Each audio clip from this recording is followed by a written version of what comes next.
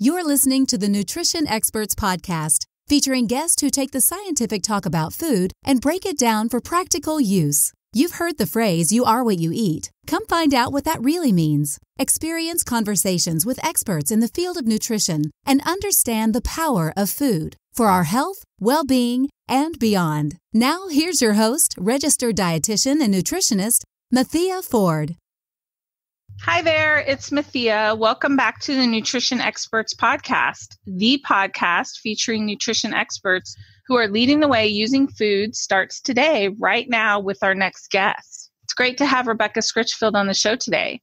Rebecca, welcome to Nutrition Experts. I'm excited to have you on the show and share your expertise with my tribe. Well, thank you so much for having me. It's great to be here today. Rebecca, I am excited to have you because you have a great book body kindness. And we're going to talk about body kindness today. But will you tell my listeners a little more about you and what you do? Absolutely. So, I am a registered dietitian and nutritionist and a certified exercise physiologist. And I've had my private practice based in Washington, D.C. since 2007. And so I see people in DC in person. I see a variety of ages. So, I work with families and usually with um, kids around time of puberty, where there are some, you know, growth and body changes, and the pediatricians might refer them them to um, well-being uh, grounded behavioral counseling around nutrition and movement and self care. I also work with a fair number of college students who might be performing in their sport and wanting to optimize in nutrition. And um, sometimes they are dealing with body image or weight concerns um, related to their sports and performance. I also work with people who are struggling with disordered eating and eating disorders. And that could be, you know, any time in their life if it was a history of an eating disorder or currently we're discovering that there's an eating disorder and we might need to um, make a decision about is outpatient the right place for them to um, get recovery support or um, do we work with a higher level of care and then come to an outpatient setting?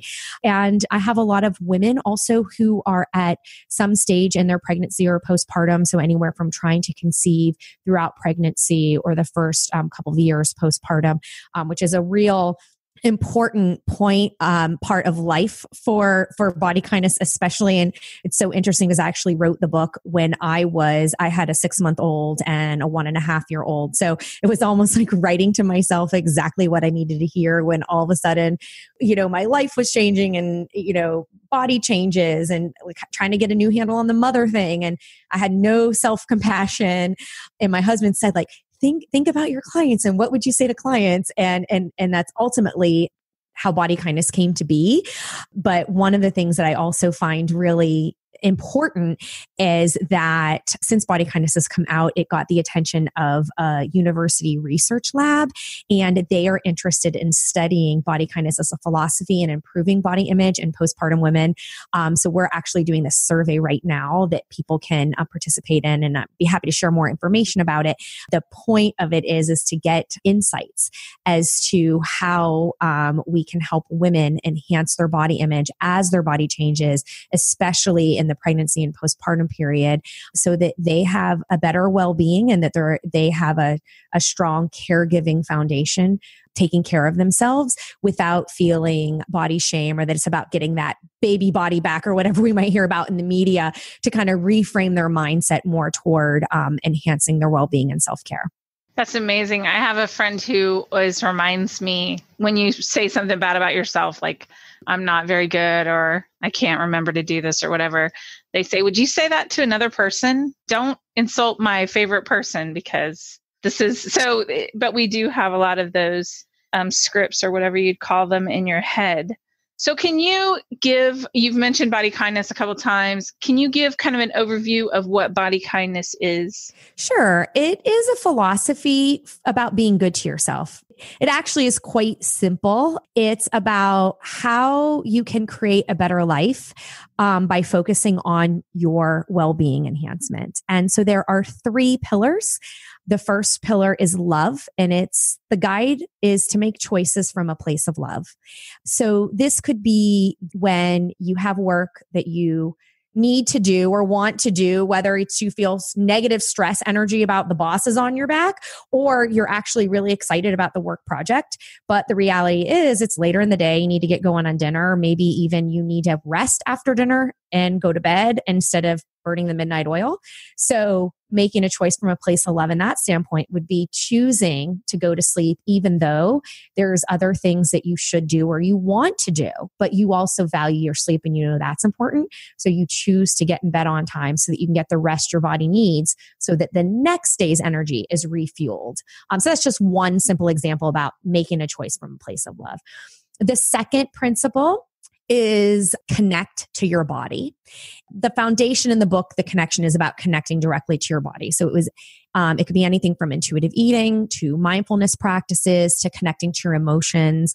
Um, so I talk in the book about how all emotions are good, even negative emotions. And one of our key problems is we think that if we're feeling a negative emotion, that we're not supposed to be feeling mad, sad, or angry. And so the tendency, you know, we begin to um, habituate things like avoidance or numbing, whether that's for food or alcohol or even punishing exercise could be a way of numbing ourselves. So it's really trying to get in there to say, you know, your body is wise and it, there's a caregiver there that wants to compassionately help you through life focus on your well-being. But we've got to tune in and connect to that caregiver. And in many many ways dieting actually severs that connection. It just creates all this friction throughout our life.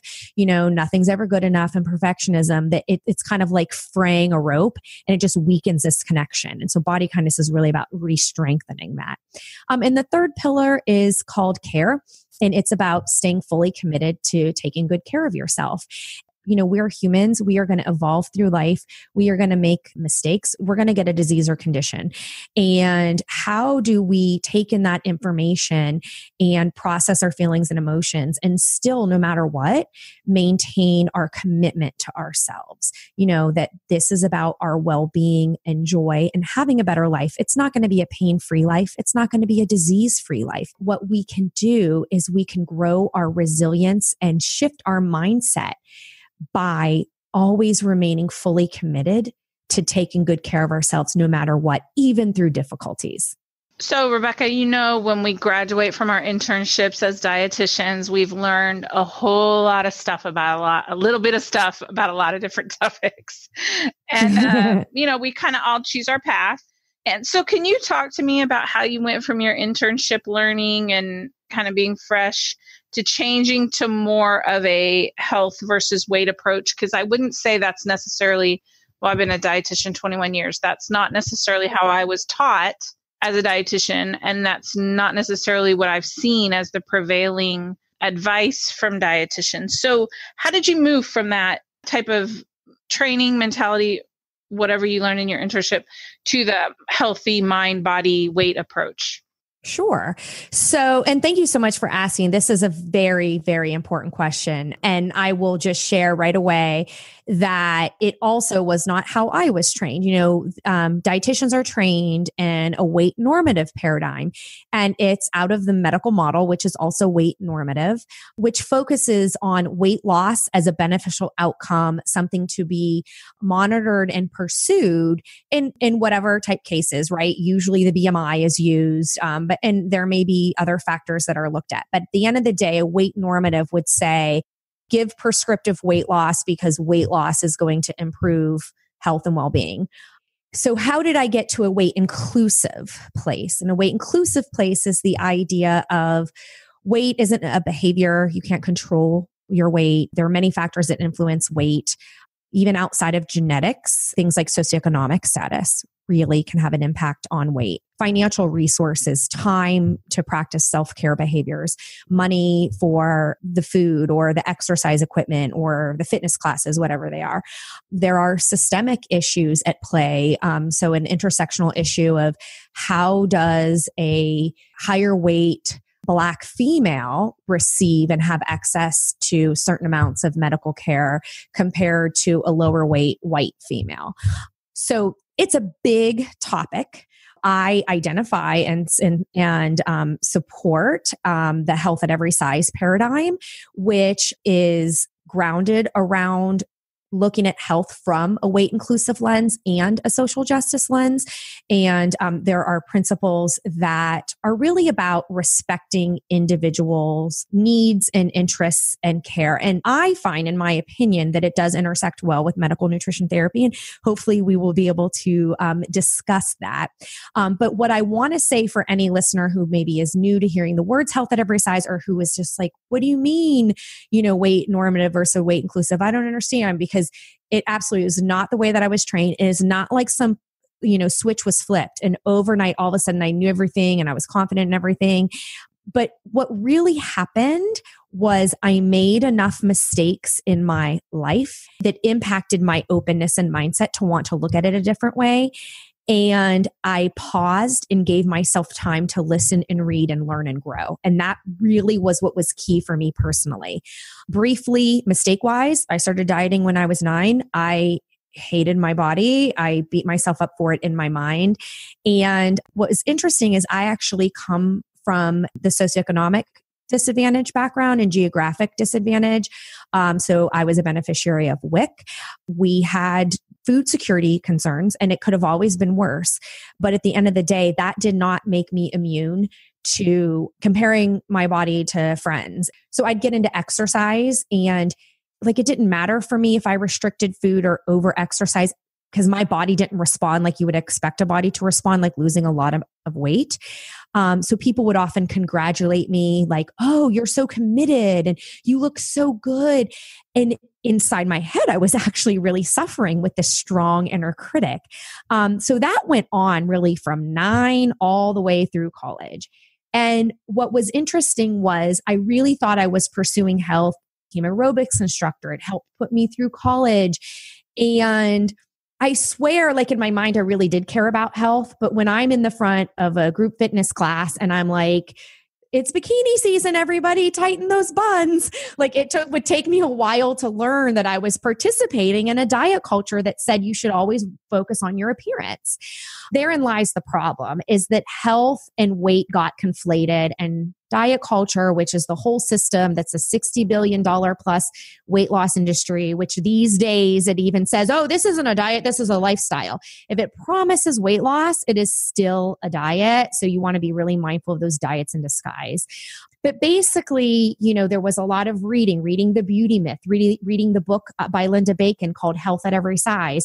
There is a newer, very thin, and I highly recommend this book be read. It's called Body Respect, also by Linda Bacon and Lucy Aphramor. And it, it, it talks about the science and also some of these systemic issues. And it just tries to separate weight and shape and appearance and health so that we don't exclude people at higher weights for pursuing a positive well-being and mind and body connection. We don't make assumptions about them based on their weight shape and appearance. And we also don't assume that people at lower weights uh, they must be free from health and disease. Um, and so it's really about inclusivity and respect. And honestly the data research can be is full of bias in and of itself. I mean there is bias everywhere but you can actually find the data. I think the best study I would point to is Traci Mann's um, research about Medicare's um, search for um, successful weight loss. And she had certain criteria for how long the studies needed to be, and basically found that 85% of dieters will regain their weight, if not more. And so there are people who will lose weight, and they're called statistical unicorns. So it's not about whether or not a person can lose weight, it's about what is best for the person's health and well being overall, given their socioeconomic economic status and financial circumstances. But it was it was a very big, big evolution for me not just in my own experiences and realizing this isn't going to work for me. So i had my health scare that really woke me up was i was actually i was going for my i think it was my second marathon second or third so marathon right? Young dietitian second marathon and I collapsed between mile 25 and 26, and runners saved my life. They carried me to an ice bath. My temperature was 107. I was told by a doctor, the ER doctor, that I almost died, um, that if it weren't for the runners, I surely would have. And I was racing, having being on South Beach which makes no sense because you actually cut carbs.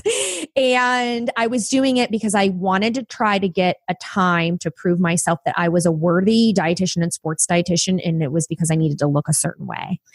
And I was like, you know why you know why am i craving strawberries and not eating them but i'm eating the whole giant thing of ricotta cheese i was like i knew it wasn't right but it was mistakes that i was making because it all went back to weight and worthiness and appearance that, that that was reinforced even by my training was reinforced about weight management for running and everything like that so in addition to that experience i also had several big failures with clients things like I'd monitor them with these armbands before there were Fitbits and I'd count their sleep and count their calories with them. And I'd have a someone who is at a higher weight who would do like run, walk, even marathon distance. And then she'd cry because she caved and had pizza on a Friday night and felt that was the reason why she only lost a half a pound that week. And I'm sitting here going like, this doesn't seem right. Like, like and, and I couldn't name that it was weight stigma, but that's exactly what it was. I mean, it's like I was letting her under fuel, right? Because clearly she had weight to lose. I could look at her and I could say, clearly you have weight to lose. And I was supporting all this stuff. And it was like, she's not having a good life if she's crying because she's eating pizza on, you know, with her husband. Um, and so it was things like that. And then also I had a family health scare too, which I do talk about a little bit in body kindness, but it has to do with my mom and she was a big chronic dieter. We did a lot of stuff together, and she also had a lot of stress and, uh, and hidden eating disorder and depression. Um, and um, you know what what I realized as we went through her health scares and um, that it probably was the smoking and it probably was the genetics, but it also probably was the dieting. And I just decided that I was like, I can't, I cannot keep doing this and I have to find a better way. And then that ultimately led to studying supervision under Evelyn Tribole for intuitive eating. I went to Green Mountain at Fox Run and learned so much about eating and self-care for me. Um, like, like I went as a participant and it helped me in my practice too. And then years later, Body Kindness, the book would come to be. That's just a lot to absorb, but you just. and here's the thing this is not, this might be my story, but I'm telling you, everyone has a story anyone who goes into nutrition has a food story, has a body story. Like you cannot separate the mind and body from human beings. Ellie Krieger, right? Uh, James Beard Award winning chef and former Food Network TV host and very accomplished dietitian. When she was on my podcast a year and a half or so ago, she talked me about in her modeling career how she faced body bashing and weight stigma type messages, you know, and that impacted her and it impacted her as a mom she didn't want to pass things on on to her kids. So it's a culturally pervasive message. But when we're trained dietitians under the medical model, it is really hard to think about well, how do I help people without centering weight loss as and the thing of it is it is an issue of control which we can talk about but it's about being open to a bigger picture of how do i help this person have a better day today? And how do i help them improve their self-care habits from a place of love and well-being enhancement not a place of shame and deprivation and self-loathing? And that goes across whether it's a body image and weight concern or it's a weight concern that's connected to a disease diagnosis. Um, it really is applicable across the board. It really hits home for me a little bit because my husband and i are both overweight but yet our children are at healthy weights. So I always attribute that to the fact that I made an effort as a dietitian, knowing that I'm not supposed to make them clean their plate. Eat the food I offer you. You know, we're going to have healthy snacks in the house, and they're not obsessed with food or their weight, but yet they're at, you know, that quote unquote healthy weight, which at least for me is um, a positive thing because I know that if you start young, like you said, start young dieting, it kind of becomes that thing you can't get away from because you do always gain back that weight or not. I know you said the unicorns, but most of the time you gain back the weight. So, so I'm trying to figure out a little bit of just thinking like you mentioned body kindness and how it's love and connect and care, but it is that uh, how is someone healthy I'm going to I'm going to say this from the normal medical model. How is somebody healthy if they're obese or overweight? I think the first thing that I would say, like speaking from the health at every size paradigm, it is health at every size, not healthy at every size. So, really, what it's about is about helping a person pursue health and well being in personally meaningful ways. And there is, eh, there is absolute acknowledgement that people can be healthy and unhealthy at a wide variety of weights right? And where where the studies show and the statist, statistics show is that the, the extreme high ends of weight and the extreme low ends of weight tend to be the highest risk factors for early death and chronic diseases right? But there is a big range of weights that go outside the BMI, which we know, I mean, I call the BS measurement in the book, but you know, I think you and I at least know, right, that BMI made for white men for insurance company is not science, but yet still used. There's a wide variety of ranges where people can be healthy. And also health is dynamic. Like some of the best articles I've read on it in the past couple years talk about how wellness culture is really uphelded by human beings' death anxiety right? So like we think we can live forever and we want to live forever and we don't even deal with death right in in in in our culture. And so it becomes this is the this is the magic tonic and the potion and this is the thing that you need to do. And if you mess up, you might get pre-diabetes or you might get diabetes and then personal responsibility, right? Shame, blame, judgment, stigma, which actually gets in the way of somebody being open and feeling hope and confidence about behavioral changes that they could make that can improve their health. So, you know, health is not a moral obligation. And if it were, that is pushing healthism. And that's the whole idea that the most important thing we could all be doing with our time is pursuing health. Now, I am a health expert and I love, like, I have a why do I have water next to me and not a giant 64 ounce soda? Because I love water and I am not the kind of person who drinks soda. I like sugar and I like sweets, but I like them in certain ways. You get it? Right. So, and I can feel good about things I do for self care and well being and my view of health improvement. Right. But my 45 year old body is more crickety than my 35 year old body, right? And running is different and things are different. And j- so just this whole idea that we have to put all our efforts into holding on to every ounce of health, what that does is it creates so much stigma and shame for people when they do get a diagnosis. And, you know, warnings from the doctors, and especially some like just talk diabetes. It's largely a genetic component. To also further invite conversation into this question, suppose someone is at the higher ends of the obesity ranges that is correlated with an increased risk for a chronic condition or earlier death. What is it that you would do for that person at the higher weight? You know so so weight inclusivity is not does not say any amount of weight loss is bad. It says that what would you do to pursue weight loss and is that good for the well-being? So you have a higher weight person who now has a new diabetes diagnosis but has a history of um, an eating disorder. Ask and you can get an eating disorder at any size. You can have anorexia at any size it's it's restrictive and you don't necessarily waste away to nothing some bodies don't respond the way you think they do but is telling somebody who has a new diabetes diagnosis you must lose weight or you're going to have a heart attack any day now is that really helpful what if they have an eating disorder history? What if the information evokes fear and they say, fine, I'm not going to monitor my blood sugars. I'm not going to make any food changes you know, somebody who makes it to an older age at a higher weight, they've been told that their body is wrong for a really long time. It's not that they haven't tried. It's not that they don't care. It's how their body responds. And we see data that came out of that um, through the Biggest Loser study, which again, small sample size because it was from people who were on just season six from the show. But what that was really interesting about that study is it showed that why do most of the people regain their weight? That with their weight loss, there were two big problems. They had leptin resistance, which did not restore as weight regained.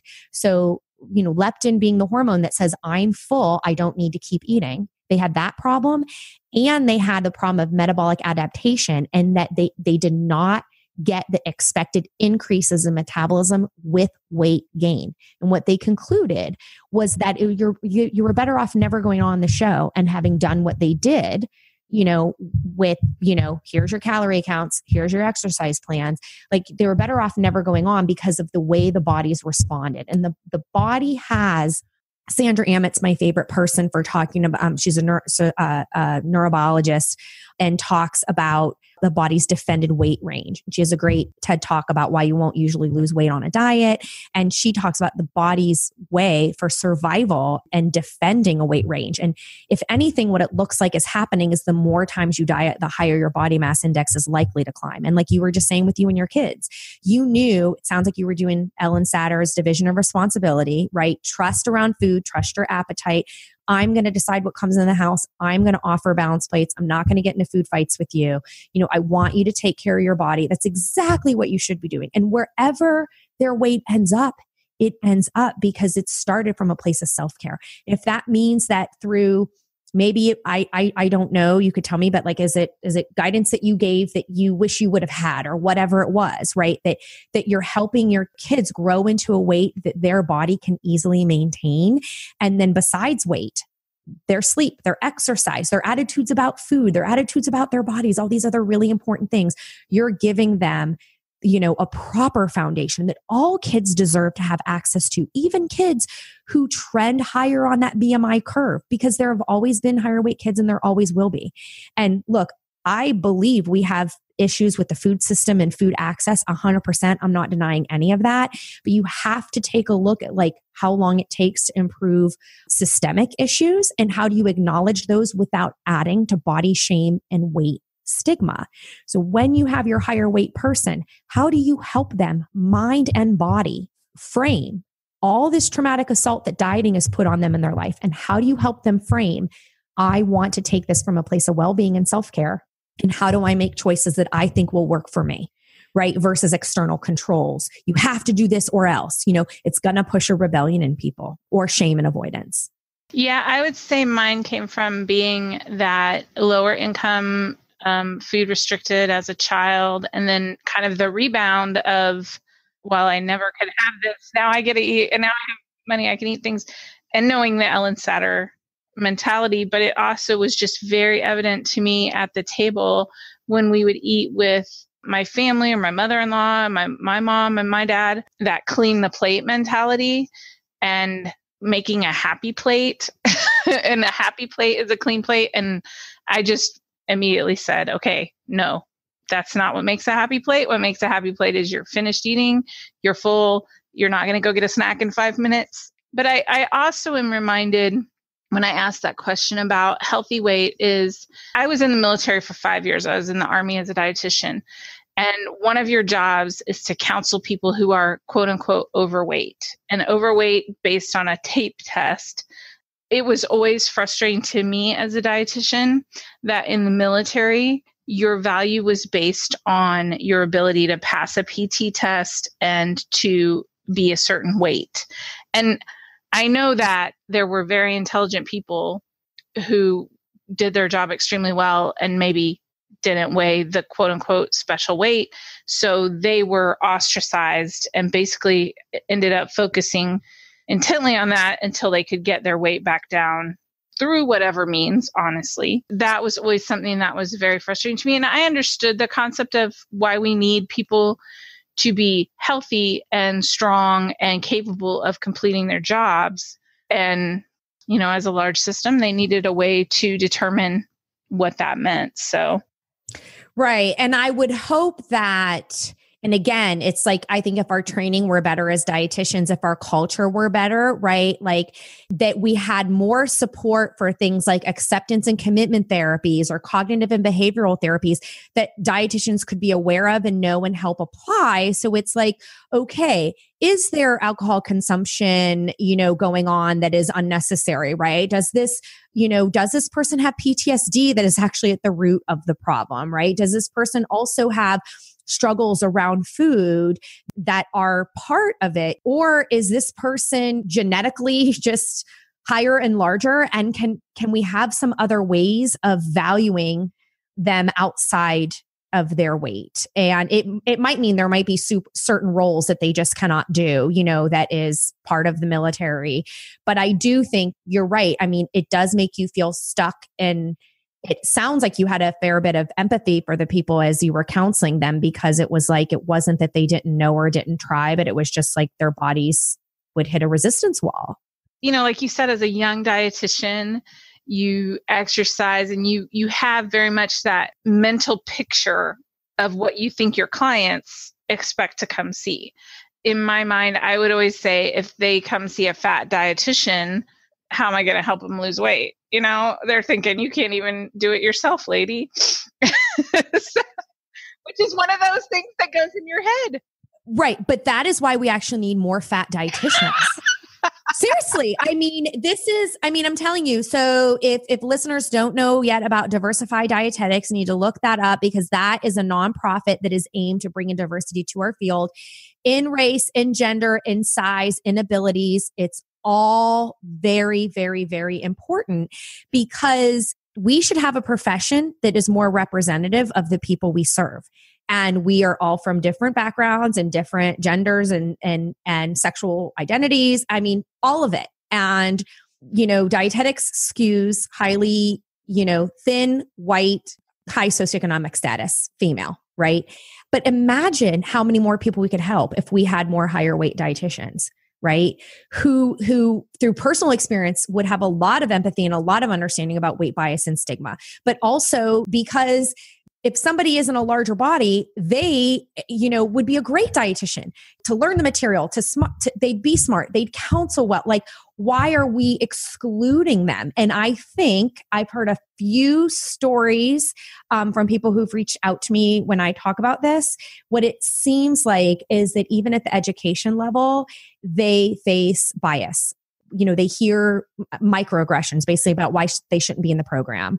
And it just hurts and they end up dropping out. So it's one of the reasons why i'm supporting Diversify Dietetics as well and like helping to coach and mentor more people through the program because our whole profession will do better and we will do more to reduce weight stigma when we have more diversity and more inclusivity in our field. And i'm just i feel sorry that you know, you can have all this skill and caring and love in the world, but yet live in a world where you're being judged based on the way you look. Your worth is being judged. That is not right. That is the problem. When you think about this program, uh, not program is probably not the right word, but philosophy. Philosophy is the right. That's a great word. That's, I, I wonder why you knew that. Okay. so when you're thinking about it in that way, so it's self care, it's making better choices, it's being more mindful. And then I get struck, and we talked about this a few minutes ago. Then I get slapped in the face okay, you got diabetes, and you got to go see a dietitian. And we have MNT guidelines that say what, as a dietitian, um, we should look at for insurance reimbursement if i'm a dietitian who believes in this who wants to who wants to encourage people and do the health at every size. How does it work for somebody who then gets a chronic illness like diabetes or kidney disease or something else? So, the first thing I would say is that this is another place where we need to take the sword that's pointing at individuals and turn the sword and point it at the system. Because ultimately, it's a systemic problem that's based in bias. The fact that in order to get reimbursed by insurance, which is important for the dietitian in the role, it's important for the person to have access to good medical care, right? That there is a weight requirement and we should be questioning that. We should be researching that. We should be challenging that, right? Now, on a day to day basis, like what can you do today as a listener? what you do is it's it starts with embracing and accepting that weight isn't something that you control that it doesn't mean that there's no work to do right you can allow, and not only can, this is a very important thing for dietitians to do. We need to allow for weight concerns to exist in the room. So I'm in private practice. I'm out of network for insurance. I mean, privilege, privilege, privilege, right? Somebody walk can walk in my door, make an appointment, walk in my door. They see, you know, hey, do you have weight concerns? I do non-diet focus, this and that, right? I try and all the marketing. They'll still not come in, sit down, and say, ah, got to do something about this weight here. You know, I'm like literally. So you do not do a bait and switch. Oh, you want to lose weight? Come see me. Hey, health at every size. That is wrong. And unethical. So you market yourself in ethical ways, but you are still going to get people with weight concerns. And why wouldn't you? Their doctor told them to lose weight. Culture told them that they should lose weight. A blog they've read, like the, all the messages point to that. So don't expect your clients are going to no longer have weight concerns or going to even understand or get health at every size. It's not necessarily your job in that counseling role to be world's strongest advocate for why your client must reject weight stigma, right? like they're there because they need you to help them. But you know and trust what you know does work, right? So respecting their past experiences with dieting, ask them. So tell me what kind of diets you've been on and tell me what your experience was like. You know, like what worked for you when you had a structure before. Um you know like how are you feeling with this new diagnosis? So you're asking open-ended questions and doing motivational interviewing for, to get a sense for the emotional and physical mental health right then and there. So tell me what you're doing right now. And you're looking for things, behavioral things that they can do that they have an agency over. And you're looking to grow their hope and confidence to take meaningful action toward those changes. So, in a counseling session, and it's in the book, but I actually design these body kindness blueprints for people. It, they're, they're very simple drawings, like infographics, right? And like their name is in the center. So, right, put Katie in the middle. And Katie's talking to you about movement. It's like, well, you know, I know I heard that movement is important for diabetes. You know, I'm not sure why. I don't really do a lot. Oh, I have some information about that. Can I share it with with you? Sure. Well, actually, movement is good because it helps to use up blood sugar. And when you have these high blood sugars, movement is something you could do to move them up. Oh, I, I understand, but you know, I like, I don't have an hour to do a workout every day. Do you have any amount of time? Sure, maybe about 10 minutes.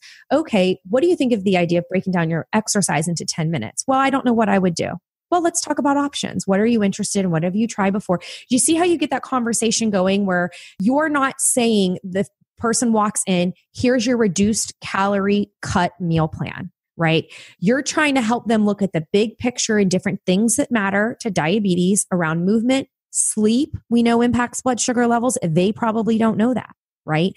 Do they sleep well or not? Are they up late because of stress? How do you help them manage stress through mindfulness? How do you help them respect an internal boundary to go to bed by a certain time so their blood sugars operate better the next day? So they might get that movement in even talking to them about the timing of when they might do movement. They might be open to buying those $10 resistance bands and keeping them at work. So they have, you know, a lunch that they both find interesting and delicious that does not have to be low carb. We know that as dietitians, but consistent carb. Right. And maybe they make a simple swap where what the, things they got in a sandwich that they did start bringing a salad with, with some beans in it for the carbohydrate. And they tried that out and they really liked it right? You can help them make a, mo- a modification, but it's connecting food to taste and pleasure and joy. And when they do want a sandwich, how do you help them make a decision that doesn't feel like, oh, I've just ruined it, right? Because I've got this giant 12 inch sub plus chips plus a cookie. And so, how would you help them make that modification? Tell, tell me about foods that you feel like you're going to miss that you can't have anymore. Oh, I can never do spaghetti again. Let's talk about that you're trying to help grow hope and confidence without being this like meanie food cop. Mm, right? Food police. yeah. Yeah. So there's so many things you could do and you build that blueprint, you know, and so your client day one decides, um, I'm going to walk for, you know, like I'm going to walk for 10 minutes, um, you know, every single day and three days a week, I'm going to go and swim because I like that. And they start there and they think about buying that resistance band right? And you get them on this idea that even dancing, you know, they ate dinner, put on some songs you like and dance and do the dishes and fold the laundry before bed. That is movement and that movement counts. And if they're monitoring their blood sugars and they see that, that is motivation. That is reward. You might be listening to this and be like, well, I don't get that because that's, that is stuff I would do. But it's not rooted in shame. It's rooted in self care and well being. Because with that person, you don't know if they're going to lose weight. You can't control that. That is not your job. With respect to insurance and reimbursement, I mean, you get the visits you get and you get them to improve their labs the best you can through positive, motivating, listening skills, kindness, you know, like behavior change. And it's just, it's without the shame and the stigma. They're going to have to deal with other barriers. Like, I don't like to sweat. I don't like to be seen in a larger body because when I've tried exercise before, somebody called me. I don't sorry if I swear you got to beat that out. But like that that's a real thing, right? And so why wouldn't they have a negative attitude about exercise? So what we need is more empathy about their lived experience. We need to listen to our patients. And we can absolutely integrate any medical nutrition therapy with health at every size and body kindness type approach that's focused on well-being enhancement. Some clients will lose weight, some clients will not lose any weight, some clients will lose a lot of weight. Some clients will their diabetes will progress and they'll be on medications and guess what? That's okay. That's what medicines are for. We need to drop the stigma about disease. That goes back to what I said in the very beginning. On that we've got to stop feeling like every bite of food we take is either going to add to our health or take away from it. And that is a line pulled right from the whole 30 diet. You know, we've got to stop believing that crap. And we got to really help people. That is why we went into nutrition to help people. I see that where you're working on those small changes. I know we want instant gratification. Like somebody wants you to hand them a 1500 calorie diet or an 1800 calorie diet, and they'll go to their doctor in a month and their blood sugar will be perfect. And, but then what happens next? You know, so it's great that you can do that for a few weeks, but I did notice in your book you talk a little bit about small steps and the spiraling up process in um, body kindness. Can you talk about that a little bit about the small steps and and spiraling up? Sure. Well, let me do spiral up first, as I absolutely love it. And this was not a metaphor that I created. It actually comes from positive psychology, which is a which is it's it's it's a newer field of psychology, but it's been around at least since the 80s and it's very well researched. There's a researcher named Barbara Fredrickson. Um, she's got great books out, and I love all I love all of her stuff. She has a great book called Love 2.0, which is about all the different ways we experience love in life and how this positivity resonance helps literally strengthen our uh, vagal tone which as we know is our vagus nerve runs from our head down to our gut. And the strength of our vagal tone is a sign of the strength of our health and well-being and our resilience and it's it's fascinating stuff. Um, and it's rooted in the loving kindness meditation which is one of my favorite meditations. She came up with a theory called broaden and build and tested this theory and got evidence behind it. And the idea was this idea of an upward spiral and that the more positive emotions we experience okay joy like fleeting positive emotions. When we um oh i got 10 minutes to myself with my cup of coffee before my kids came charging in the room i'm gonna savor that. 10 minutes is good enough right? So that or like the sun is shining and it's such a nice day. Oh, i'm so grateful for this lovely day. That micro moment of joy. When we can stop you know it's not pollyanna you know, but it's to look at the bright side of something, to look for the optimistic view in any situation. When we could stop and notice these things a little bit more. The letter carrier comes and, and you happen to be home. Hi, thank you for bringing my mail. I really appreciate that. You know, those micro moments of connection and joy broaden and build our positive emotions. So, one positive emotion begets more positive emotions and it opens you up like this idea of an upward spiral that is broad and connected not only to your own mind and body, but to your community and to the world. There's a positive emotion that we don't experience often called awe. But if you've been to Alaska and stepped on a glacier, that was awe, you know? Uh, and um, so, so, you know, I went to Machu Picchu, that was awe. and, and so this idea that on a, you know, we can't go to Machu Picchu every day, right? But on a day to day basis, we can choose to look at these positive connections and that it positive emotions broaden and build and beget more. And the more positive emotions you like, so positive emotions are negatively correlated with depression and loneliness and anxiety. And we know what those things can facilitate in mind and body health, right? So what I did is I took her broaden and build theory and I looked at other research and I was like, you know, if one small self-care choice, right? Like oh, I didn't get a lot. It was a bad night of sleep last night. You know, I, I'm supposed to work out this morning. You know what? I am, I'm not going to work out today. I'll figure it out. But instead, I'm going to have like a nice caregiving morning and a breakfast. I'm going to read a little bit. That's what I'm going to do in my 45 minutes where I was going to do my workout. If, if that one small self care choice, when you notice something's going on, you notice what you need, can that one self care choice create a positive emotion? And can that does that positive emotion lead to more positive self-care choices? And what i found out was that yes it does. And so i took her concept of broaden and build and applied it to spiraling up in health and well-being so that through attunement and connection to your body you can notice a downward spiral even if it's toward the end of the day. It's like oh i've been downward spiraling all day long.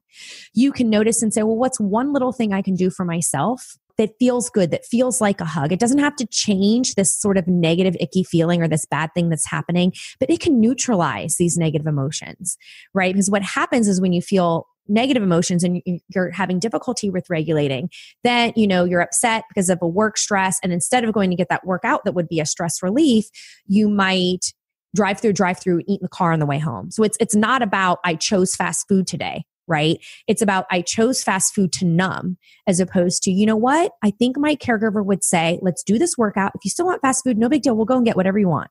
And a caregiver might get you to think about those choice options and do that energizing workout, which you actually felt better about, could take out some anger toward your boss, right? And you're like, okay, I feel better. Now what do I feel like eating? And, you know, look, you know, in, in body kindness, if you felt like going to get that fast food, you would, but maybe you would eat it at the fast food place or you'd bring it home and eat it at a table and really savor it, right? Not not the numbing, not the emotional avoidance. And and, and so that is how I apply spiraling up and down is is just that it's not, you know, you're going to feel negative emotions, but it's that maladaptive coping that we do when we say I can't handle this or screw this and we stop making self-care choices because we don't want to feel our pain. So what I help people do with spiraling up is feel your pain. Your pain is real. You're allowed to feel it. You're allowed to be stressed about work or angry at a boss situation or, you know, upset that somebody made a dig at your appearance. But you could pause and take a deep breath and say, what do I need right now that matters? And that next small choice can be a spiral up for you. I think it's important that we do make those small choices. And like you said, kind of instead of falling off that wagon and just staying off the wagon, you're like, okay, I made a step sideways what am what is my next choice that's going to be good for me? So that's an awesome way to think about it.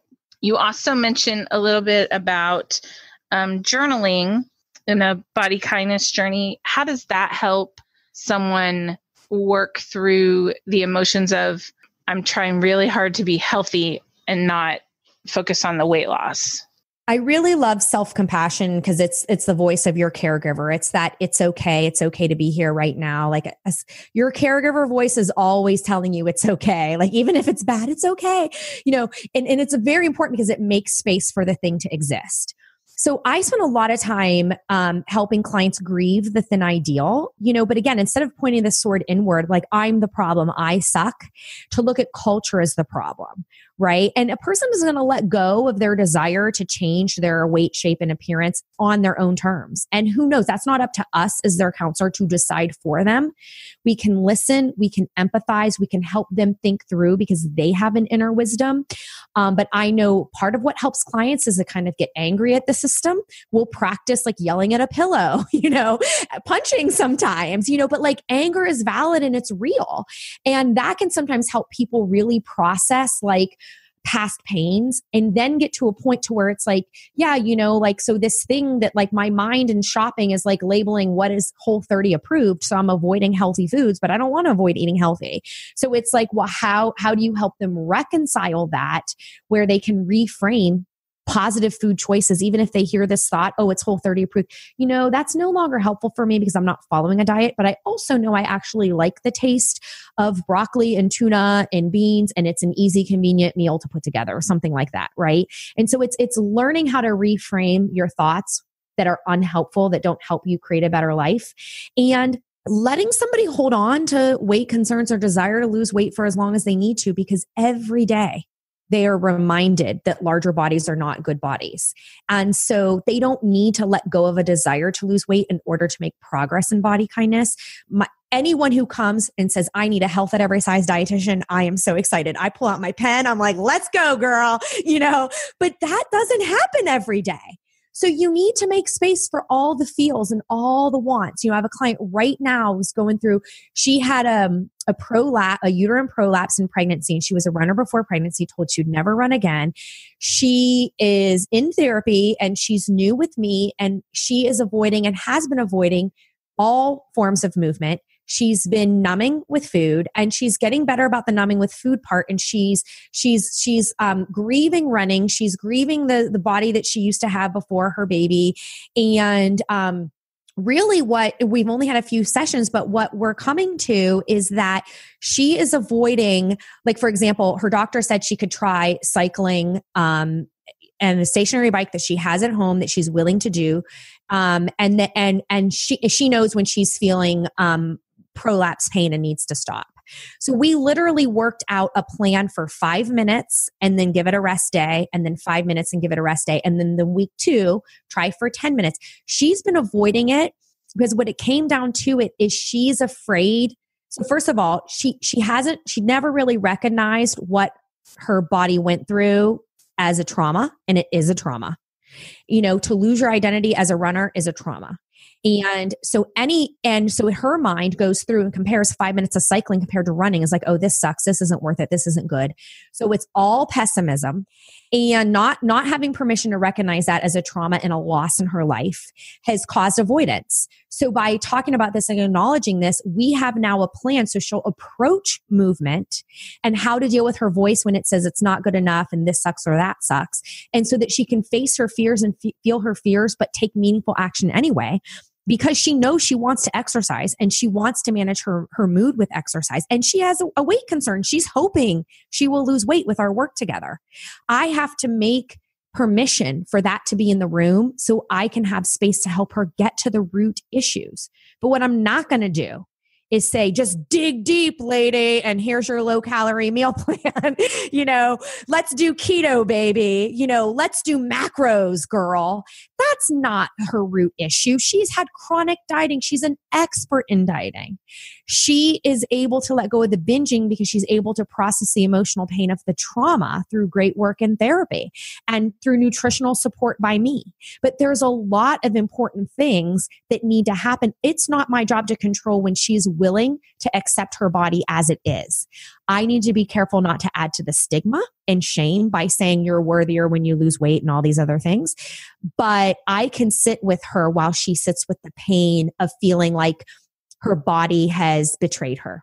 You know, you mentioned going through a store, this is Whole 30 approved, this uh, diet mentality, but isn't it true that there are some foods that are healthy and some that are not so healthy or to use a dietitian mentality nutrient dense versus calorie dense. Um, is there any value to paying attention to that yeah, I mean, and this is where I would say, you know, this is why I love working on an individual level because it's such an individual answer. I learned mm. from Dana Sturdevant. She is one of the dietitians with Be Nourished, and she was on one of my podcast episodes. And she talks about nutrition being a, a, a young science. And it was really true and eye opening when she talked about that. And we do want to be mindful of nutritionism, right? And it's like, this is gluten free and this free and that free. Even when we are mindful of all of that and ignore all those things, to me, it's an issue of developing moral equivalency of food, right? So, morally, carrot cake equals carrots. you know, from a moral standpoint, I am not a bad person because I like carrot cake there's lots of other things we value, right? Like I value good digestion. So I want to get my fiber to have really good poops. I love a good poop, right? I knew dietitians are going to talk about poop eventually. Um, so one of the reasons why I eat carrots more frequently than I eat carrot cake is because of how I feel, you know, when I eat carrots with hummus and as an energizing snack and how it contributes to my fiber and my poops but that doesn't mean that I have to, you know, white knuckle it through the 30 days of whole 30 and not touch a drop of sugar. I can still take my coffee with the French vanilla I like. That is not the sugar that's going to kill me. Uh, you know, so it's things like that. I am really careful about broadly labeling foods as individually good or bad or healthy or not healthy. I mean, yeah, if I'm holding a kiwi fruit in my hand and I'm going to be like, I appreciate this has vitamin C and fiber and tastes delicious. And yes, like I'm going to be like, this is a healthy food, right?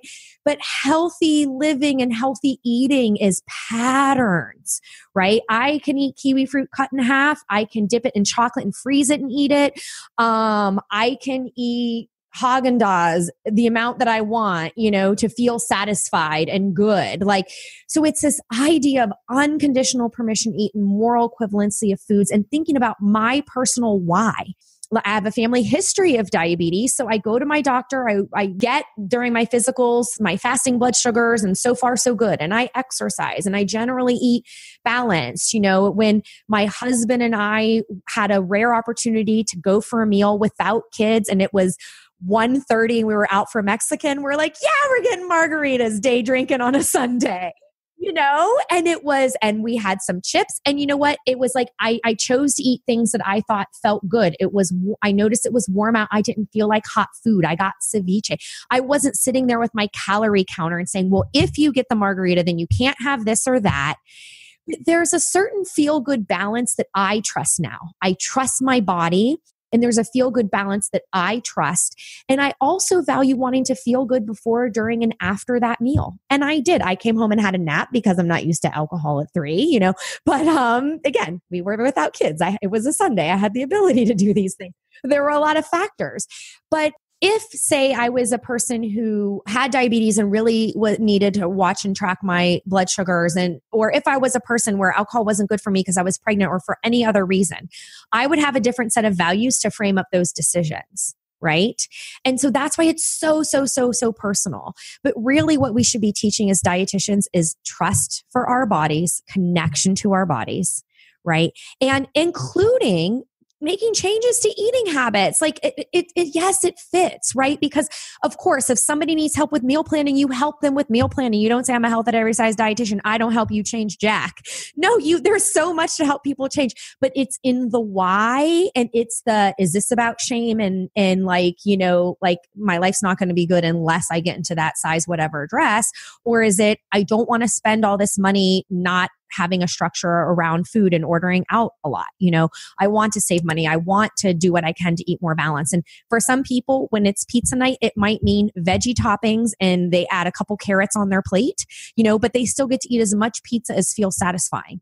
But those swaps might go down from you know, through mindfulness and mindful eating might have taken you down from, you know, four or five pieces down to two or three. I mean, again, I don't know, it's individual, but like there, there are things that you can do that would influence changes that you feel personally good about. But if you have someone who's a history of chronic dieting and eating disorder and the first thing you say is yeah i'll support you doing whole 30 don't you dare eat pizza that's probably not going to be the most helpful thing for them and they're probably not going to learn how to make choices when they're done with you so you really have to understand the whole person, understand how you can be the most helpful and and and listening and being supportive. But there is there's no shame in wanting to improve your eating patterns, but there's a big difference between, okay, let's do keto, let's do paleo, let's do whole 30, right? Or whatever that thing is. Let's do this calorie cutting thing. There's a big difference between that and helping them, meeting them where they're at and helping them with the amount of meal planning and support they need. I will say that that means sometimes that they are for asking for things that it's like you realize is more structure than you want them to have. But also in the short term, like week one, you also understand that that structure is helpful. So if somebody comes in, you know, like I wouldn't give them end stage intuitive eating on day one. I might talk to them about working on their attunement and eating on a schedule because they don't eat till 2 p.m. or 1 or whatever it is. So I might talk to them about, okay, I have information about why it's important to eat within two hours of waking up. Would you like to hear it? Yes. Okay, here it is, right? And you're helping them eat on a structure because you're helping them build attunement to hunger and fullness. They don't know how to do what you'd be asking them to do with end stage intuitive eating on day one. So we really have to know the tools, learn the tools, and know how they work in a counseling setting to really do our jobs better. And again, like we said in the beginning, we didn't get it in school. we're students all over again. well, I have found that um, I have learned so much just um, digging in, paying attention, and seeing how things evolved. But um, I'm thinking I want to know what you think is next for this field of um, health at every size and body kindness, and how is it going to affect healthcare? What what changes do you see it making? I think the next thing we really need to look at it is from a social justice lens.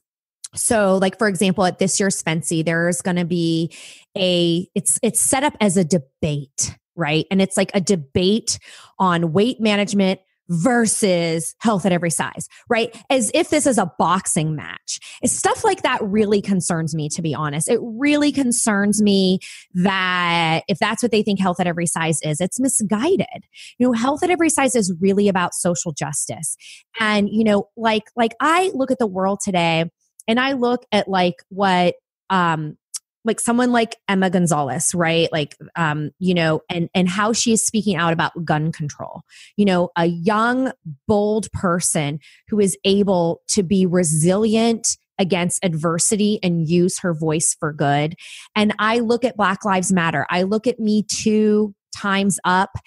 It is it is a different ball game, and social justice is becoming more and more in the narrative about we you know how do we really change the system with respect to understanding intersectionality? What are the disparities that people face based on race gender socioeconomic status? And i think I think medicine needs to fund research in areas around weight stigma and social justice issues because we need the data that's going to support and influence insurance companies. And I also think, frankly, we just need to remember our common humanity. I love Desmond Tutu, and my favorite quote of his is My humanity is bound in yours, for we can only be human together and and i just think that it, it's it's a human rights issue and it's an issue we've got to challenge our own privileges and our own bias and it's hard difficult arduous work especially when you're working in the system that is set up to be weight normative. You know but i think some of the most powerful people are people who who are employed in a medical practice and who might be able to do an in service about these issues right? Like in private practice i call the shots i get to control it all. So a lot of ways it's easy for me right it's easier than other people. But it's like, I want people to feel empowered as an individual.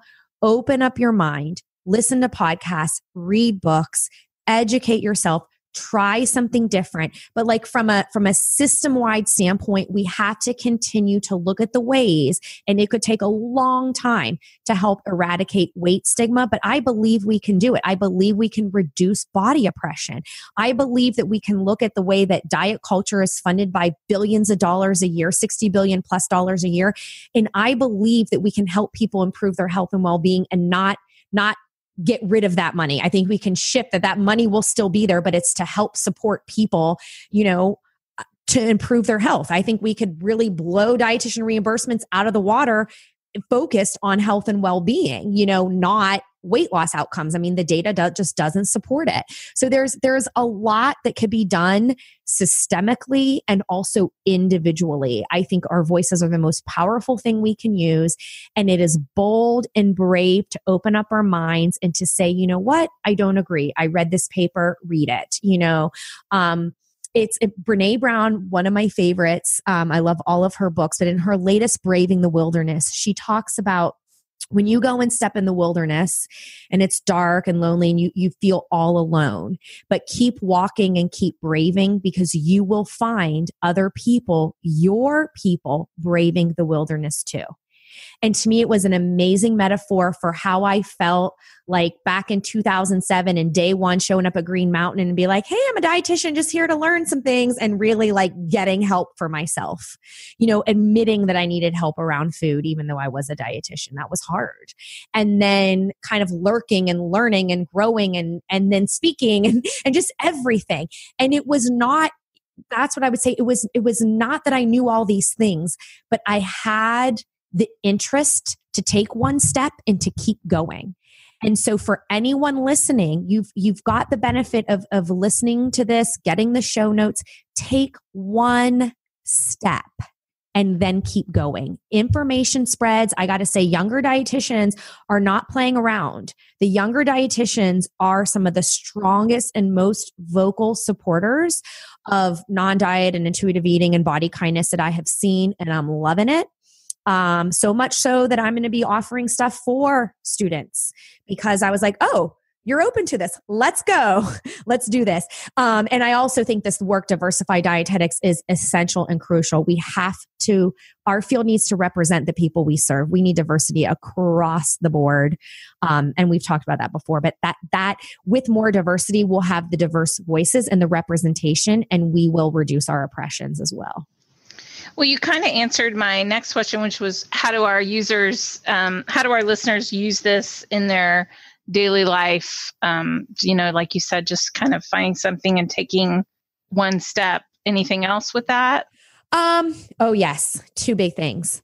Tons of self-compassion, the it's okay phrase, and I would say the best phrase you're going to know is it's okay to make mistakes you know the fact i mean and this is a it's it's a flaw of dietitians right? Perfectionists we are.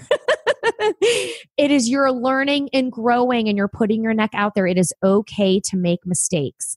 Number 2 good self-care because braving this wilderness is hard and it's challenging and it is um, i've faced my own microaggressions uh, you know from my peers and just maybe trying to understand and maybe trying to just reject my philosophy. I don't know. But it hurts. It makes you want to cry, you know? And so you're going to see a lot of wrongs that need to be right and a lot of things that you could do but you can't do it all because you need your sleep you know secure your oxygen mask before helping others right you know um you need you need your sleep you need your job you need your families um I'm going to quote Deb Burgard, who's one of the founding members of ASDAH Association for Size Diversity and Health, that created the Health at Every Size principles. And I do this when I speak a lot too, because she's told me, she says, and, and she is um, a therapist, um, and she is, um, she said, Rebecca, dietitians have been there from the beginning. Dietitians have been there from the beginning of health at every size. And every time you talk, I want you to make sure people know that because um, there's space for dietitians here and they've been there from the get go. Um, but when you do it, you're going to get tired. You're going to see a lot of work that needs to get done, and you need to take care of yourself. You need to pause. You need to still live your life and have a good, good, good, good life um, because you need to re energize. And that is a role that you'll see in any people who are doing social justice work. And fighting weight stigma is a social justice act. So, my uh, kind of off the topic question for you that I try to ask everybody is what is your favorite food? So, tell us about your favorite food. Ah, well, you've already heard me mention pizza a million times. So I'm going to go, oh gosh, I'm going to have to go ice cream, you know, and I just, whenever I think of ice cream, I think about being a little girl and I think about my grandma who I lost way too young um, when I was a freshman in high school. Um, she she had cancer and she died shortly after my grandpa died of emphysema and he worked in like coal factories and whatnot. Um, but um, they had um, this trailer on the lake in Ohio called Berlin Lake. And um, it's actually still in our family. So when I get to go visit and bring my girls there, it's like I get chills. Like this is a place, it was a place where I started dieting for the first time. It's a place where I went back years later to apologize to my body for all the wrongs. It's a place now where I take my kids and, you know, I water ski all silly and they laugh at their mom, you know. So it's kind of like this place of mixed emotion for me. But as a child, one of my favorite things to do was um, we'd stop and get this homemade ice cream. We got this flavor called Blue Moon, and my grandma would let me order any size I wanted. And of course, I could never finish it because I always wanted the big one. Um, but just licking on this like double cone of Blue Moon ice cream and just feeling the love and you know the cold on my tongue and just that connection to my grandma, that connection to the lake. It's like that is what makes me love ice cream so much. And it's rare when I actually get to enjoy Blue Moon ice cream. I found a recipe, and so I'll make it at home with my girls. If I ever see it on a menu, I would get it. But it, it doesn't have to be that flavor. When I have it, I stop and think about the happiness and what it means to me. And yeah, I have ice cream a lot, and it's not all that fireworks on the 4th of July, amazing blue moon flavor, but I can still cultivate the meaning in it.